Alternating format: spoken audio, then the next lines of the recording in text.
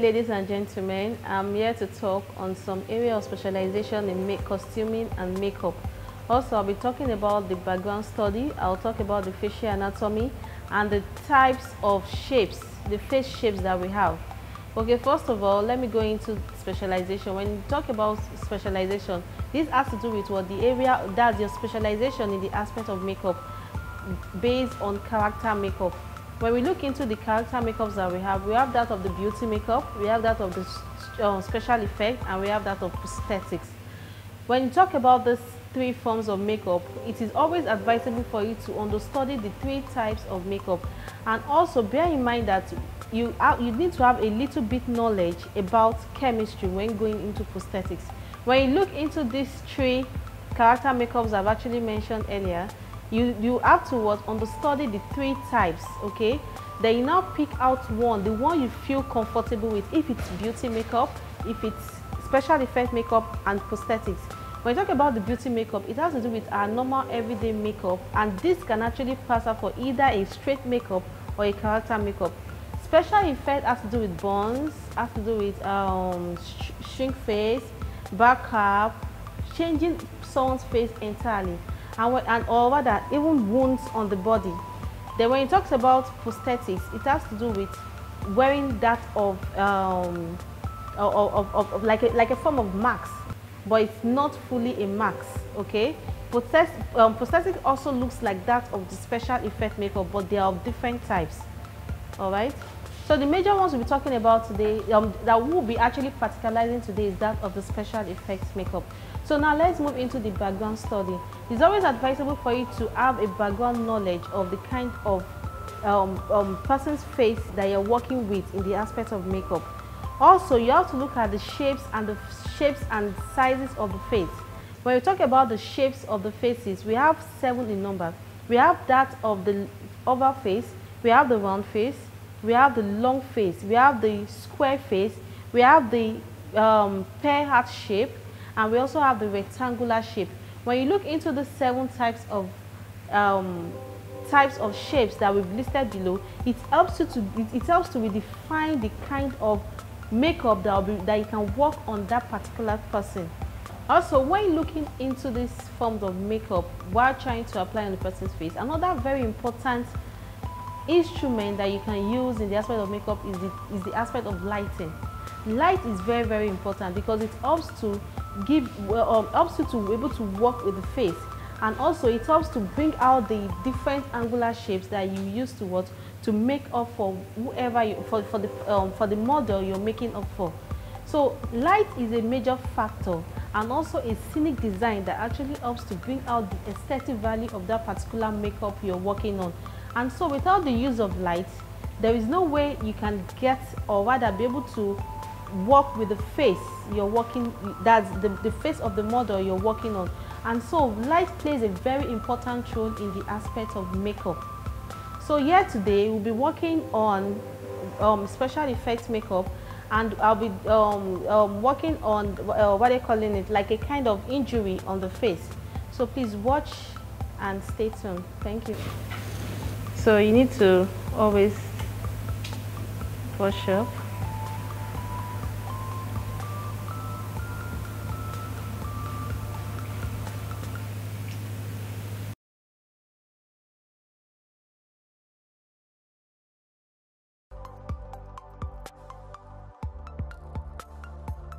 Okay, the next I'll be doing is the scar makeup. I'll make I'll, I'll be um, giving him a, um, um, a scar on the on the forehead. Okay. So before I go further, I have to use the primer first.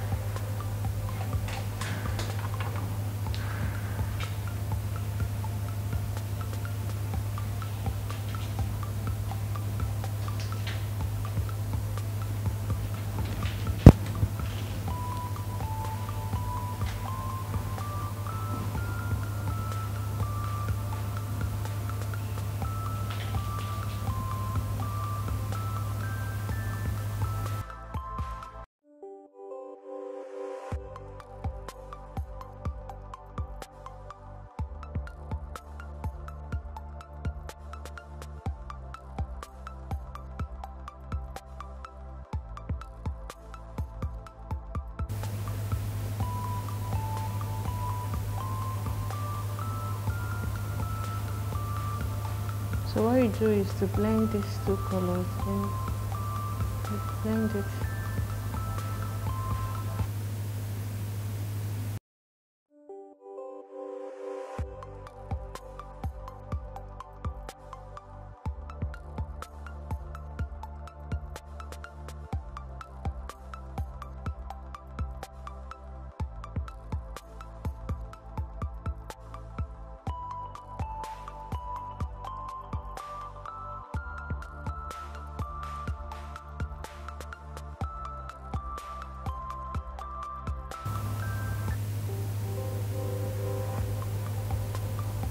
The reason why you make use of black, you put black in the know, inside the cloth is because it helps to um, to, to, to, to create a very special effect. Create a very a special effect on on the blood you'll be adding to it. That is always important to put the blood the black pencil in the middle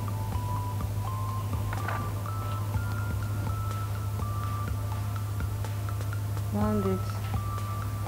So you dab the blood. You dab dab. The cut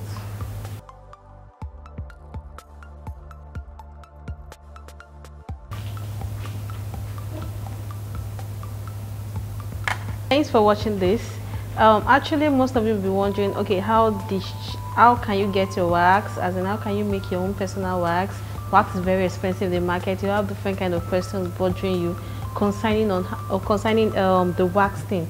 Okay the, my advice to you is that we have different ways in which you can make wax and one of the ways is when you have when you get a floor in the house you sieve it then you remove the shaft then the sieved floor is what you mix with vaseline.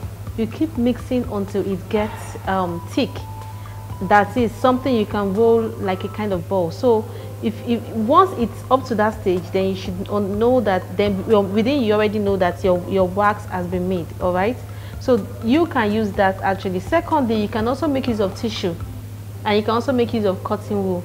Instead of using that of the uh, of, of wax you can just roll your cotton wool like this. Then you use your top bond. You you um, where I actually had outlined you just add your top bond there. Then you put in your your tissue paper and your cotton wool across each other and through that you've gotten your your your, your cut okay? It's not for you to use wax totally but wax is also very very advisable. And secondly the reason why we make use of flour and um, Vaseline together is because these are things that even on the norms like even when it gets into the mouth is not harmful. So it's always advisable to use something that is not harmful for your special effect makeup and also the use of blood how do you get your blood? You, you buy uh, uh, you get um, the the materials for the blood is um, coloring. That is this this very thick red coloring for cake. Then you also buy starch. That's this powder starch the blue one. Then you also get um, honey. When you mix the three together it brings out a very thick blood okay so through that you can use that for your special effect makeup and it looks real and it lasts longer. But make sure that when you're adding your starch is something you can use within a week or two weeks. Okay? Thank you very much